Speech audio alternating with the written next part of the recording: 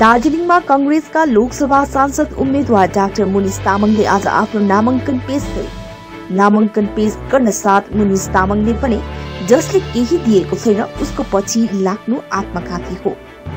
गीतकार केबी गुरुङ गोर्खाकृत मायाको साठो music video लोकार्पण गरियो। देशमा एउटा विकल्प जरुरी छ माकपा नेता समन पाठकले भने। दार्जिलिङ नगरपालिकामा थिचोमिचो भएको कारण नै हामी भाजपामा सामेल भएका हौँ। हाम्रो सपोर्टमा अघि आइदिने बाउ खोजेका हौँ। हाम्रो पार्टी छोडेर भाजपामा सामेल भएका नगर पार्षदीका पेमिला दुर्जी भुटियाले यसो भनेका हुन्।